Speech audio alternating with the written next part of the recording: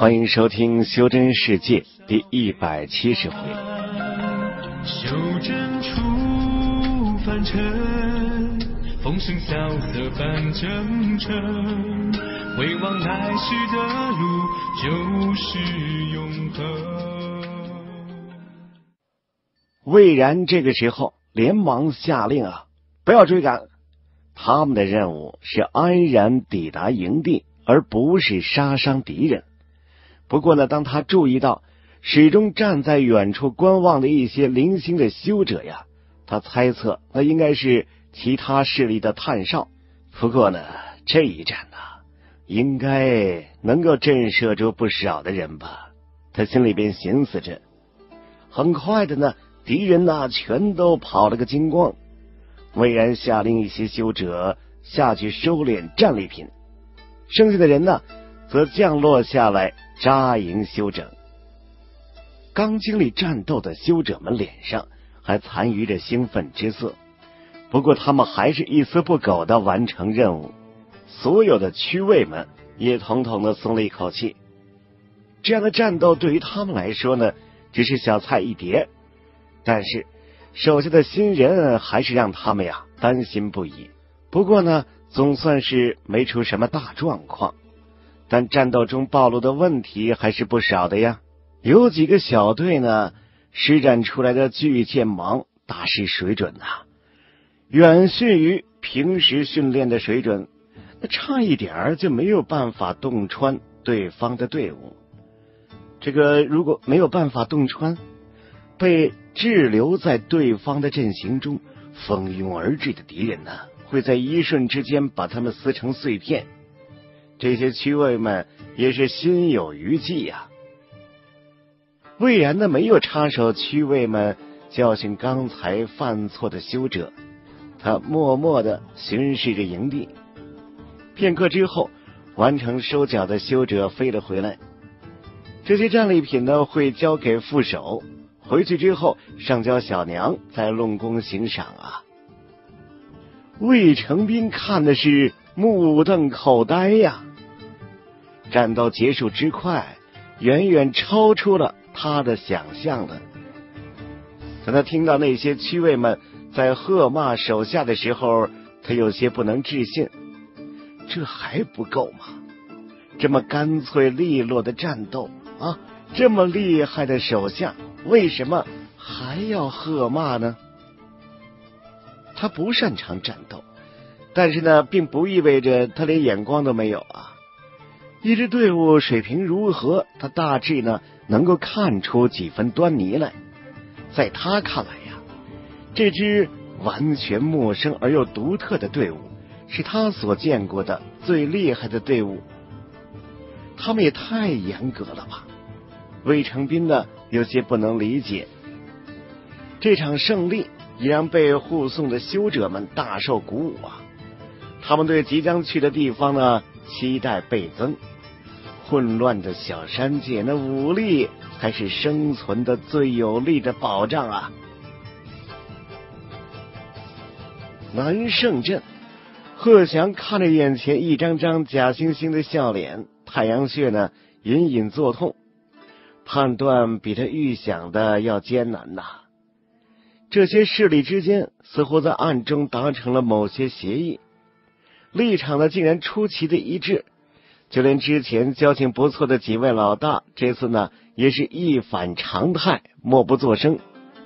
他知道这些人呢只不过呀是想讨价还价，可对于一心想立功的他来说，把价码压到最低。才能体现出他以前的能力。觊觎他位置的人呢，可不止一个两个呀。他不想给别人可乘之机。他不动声色的笑了笑。今天大家都累了，休息一下吧。在下特地准备了宴席，还请各位赏光啊。各位老大呢，彼此对了对眼色，纷纷起身，说困倦了，想休息。贺祥呢也不勉强，笑着送他们出门。当最后一位老大也要出门，他的脸色再也掩饰不住，他阴沉如水呀。得想办法分化他们才行啊！他心里边寻思着，转身欲走，恰巧呢瞥见了一位长老眼中那一抹幸灾乐祸，心情呢顿时是更加的糟糕了。谢山环顾众人，大家的目标都确定了吗？众人呢是一阵点头。雷鹏瓮声瓮气的说：“妈的！”老子连他上几次茅厕都盯着，真是晦气。众人呢是一阵轻笑。为了确保一击而中啊，众人呢都事先踩过点儿，剩下的十位目标都分配到了人。一个时辰后动手。谢山也没有废话，这十五个人个个身怀绝技。他虽然说呀是修为最高，但是呢也不敢摆什么架子呀。好在大家的纪律性都很强，不需要他过多的啰嗦。十五个人悄无声息的四散离开。雷鹏的目标啊，是一位擅长炼丹的家伙。虽然说现在小山界灵材匮乏，但是呢，还是有些商行啊，有些存货的。这家伙也因此找到了一份不错的工作。因此，在收到玉简的时候呢，他权衡了一下，还是决定啊留在原来的东家。那毕竟呢，原来的东家待他不错。这玉简的来历不明，他不愿冒这个险。不知道为什么，他今天呢总有一些心惊肉跳的感觉，好像呢有什么大事要发生一般呢，这让他心神不宁。每次他有这种感觉，基本上。哼，却没有什么好事的。抬头看了看天色，天空云层压得很低，沉闷压抑呀。何药师，东家找你。打杂的小二急匆匆的赶了过来。啊，我这就去。他收敛了心神，连忙起身。估计啊，又有活安排下来了。他刚穿过了后院。忽然颈后一痛啊，眼前一黑，人事不知了。雷鹏一把提着他四下张望，见没有惊动其他人呢，咧嘴无声的笑了笑，人便在原地消失了。不过不是谁都像他这么运气好啊，比如年禄。年禄呢，有些焦急的看着他的目标，一位擅长豢养的女修。她正指点其他人呢，配饲养灵兽的草料。这些学徒们个个啊恭敬异常，仔细聆听。动手的时间到了，看着目标呢，一时半会儿绝对不会离开。年禄一咬牙呀，决定直接动手了。的身形呢，如鬼魅一般，猛地出现在了这女修的背后。会长轻轻一展，左手一提一攥，这昏迷的女修便倒在了他的背上。动作呀，干净利落，没有丝毫的拖泥带水。直到他消失在门口，这群学徒才反应过来，惊恐的扯着喉咙尖叫啊！商行的护卫立即被惊动了，纷纷的从院内腾空而起。同样的情况在同一时间。在南胜镇的不同的地方上演，南胜镇呢，顿时是一片混乱。营地里，左墨看着女修，挠了挠头：“你总要有个名字吧，这样大家也好称呼啊。”新换了副身体，头发尚短，挠的时候呢，感觉头发入手就像铁丝一样扎手，邪门啊！这头发怎么可能这么硬呢？女修呢充耳不闻。左墨上次检查他伤势的时候，发现呀，他体内呢有一股奇异诡异的力量。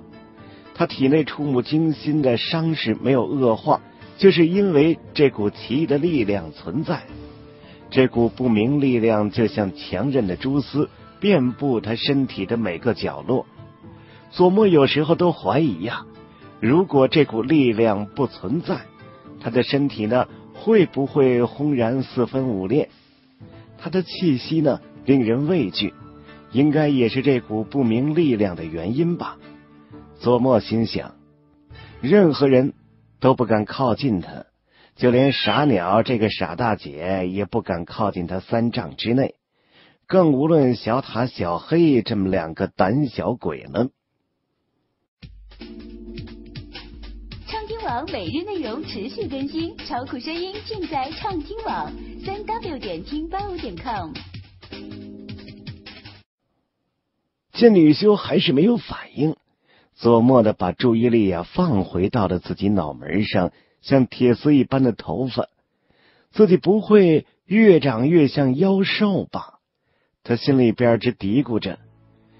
三名金甲卫逐剑而立，立在他不远处，他们对女修似乎也有一些畏惧，这让佐墨呢百思不得其解呀。金甲卫，那不是傀儡吗？怎么还会怕人呢？女修浑身上下就让人看不明白。看来今天还是没有成果呀。佐墨摇了摇头。这些天呢，他每天都坚持呢和女修聊两句，试图啊拉了关系。可是到目前为止，成果为零。他就像是一尊石雕一般，站在那儿一动不动。佐墨也从来没有听他说过话，难道不成他是哑巴吗？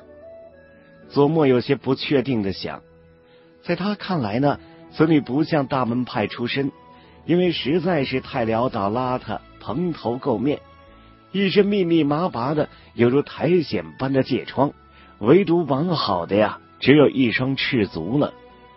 说实话吧，佐墨呢？从来没有见过这么漂亮的脚，匀称白皙，像玉像瓷，没有一丝瑕疵啊！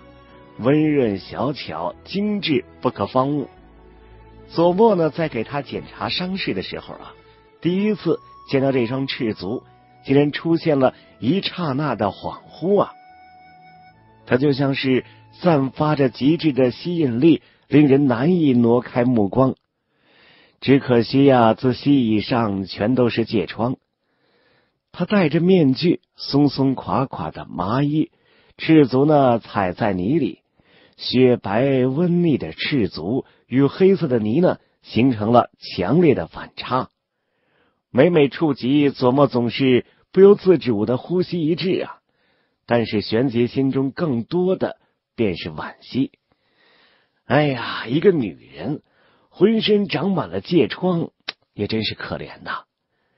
心中微微的叹息，他也不知道自己在感慨什么。起身呢，飞上了一座山峰，极目远眺，天空如碧玺，白云如纱呀。山风微微的吹着，凉爽无比。山脚下的天星湖，宛如一块剔透的宝石，镶嵌在了群峰之中啊。左墨心情呢，顿时开阔了许多。小山界灵气虽失，但是对于这些草木野兽来说，并不多少有不同的。反倒呢，因为没有修者的活动，群山显得郁郁葱葱的。为了接下来的建成，他把营地呢扎到了天星山。忽然想起了淳于成师兄一脸的不愿。他不禁一笑啊，程师弟真是一名豢养痴人。几位孙宝带领着手下的修者们拼命的在赶工，建成所需的材料是一个极其恐怖的数字啊！比如说城砖吧，多由呢山石切割而来，每一块都需要经过炼制、篆刻、符阵。修者开采山石，这并不费事儿，但是炼制起来也不是那么容易呀。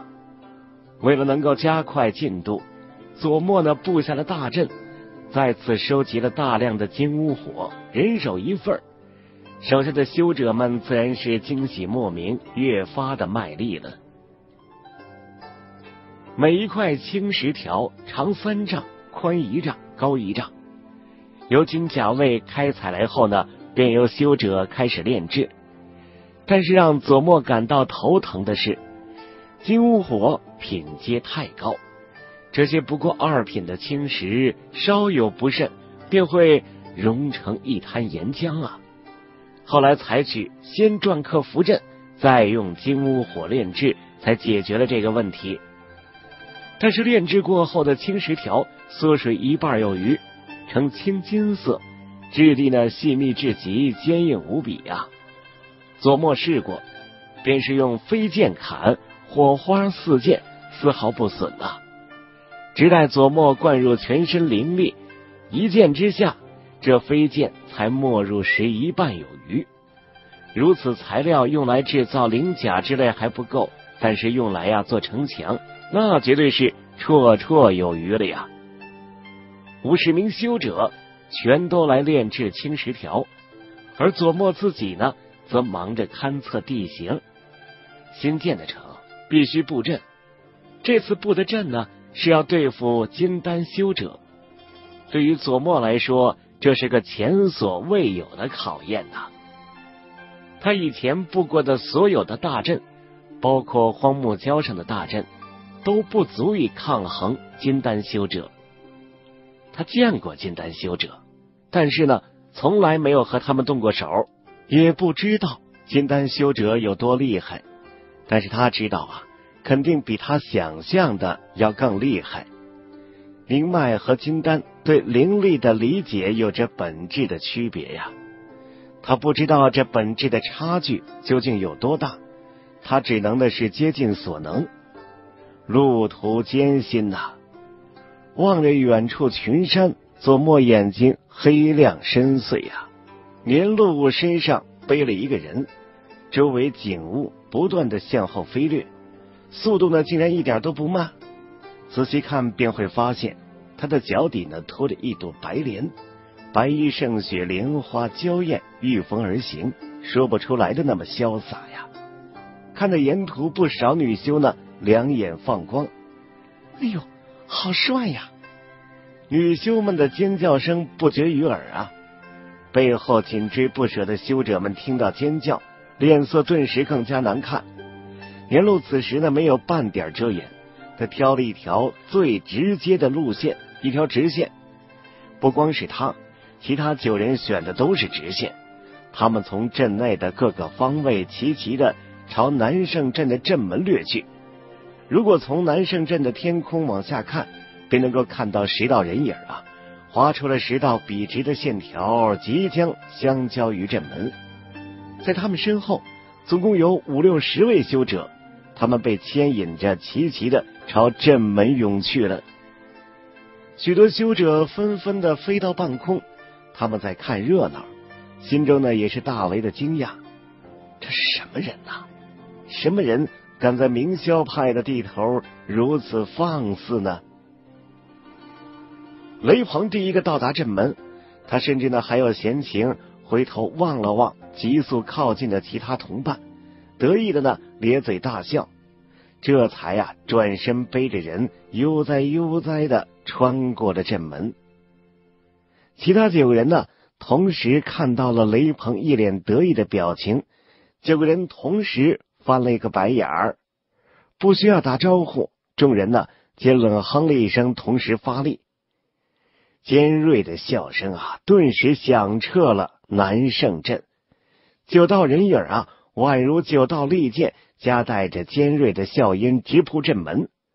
南胜镇的镇门只不过是象征性的建筑。贺祥呢，压根儿就没有想过有人敢打明霄派的主意，敢在明霄派的地盘上撒野呀。那除非您是不想在小山界混了。正因为如此呢，这南胜镇的防御简直是弱的可怜呐！九道人影高速的掠过，可怜的镇门呢，顿时被如刀割的剑气呀，是撕扯的粉碎。镇门灰尘弥漫，木屑横飞，后面追击的修者们接踵而至，他们见状毫不减速，浑身鳞甲呀是光芒闪动。灵罩开启，直接准备从正门处穿过去。我就知道这帮人肯定要咱们吃灰。灰尘里呢，有人抱怨道：“无数的剑芒陡然之间从灰尘中迸射而出，就像是隐藏在黑夜中的蝙蝠伸出了他们吸血的獠牙呀！嗯有埋伏！追击的修者们大惊失色。不不不！追在最前面的修者根本就来不及反应啊！那灵罩就像是纸糊的一般呢，瞬间就被洞穿了。修者身上多了几处血孔。这名修者脸上的表情呢，也立即的就凝固了，身体失控，像沙包一般，依着惯性啊，身体呢一头摔进了灰尘里。不光是他，靠前方的几名修者没有一个活下来的。剑意，后面的修者大惊失色呀！如此摧枯拉朽的剑芒，只有一种可能：剑意。只有领悟了剑意的剑修。才能释放出如此恐怖的剑芒，才能如此轻松的洞穿灵甲，一剑致命。数目并不多的剑芒，颜色各异，显然是不同的剑修放出来的。不止一名领悟剑意的剑修啊！这群修者脸色大变，领悟剑意的剑修极其的罕见呐！明脉期的剑修领悟剑意的百中有一，已算难得了。那么这些剑修又为什么孜孜不倦的想领悟这个剑意呢？只求一生中再不会留下什么欲知后事如何，欢迎各位继续关注收听《修真世界》第一百七十一回。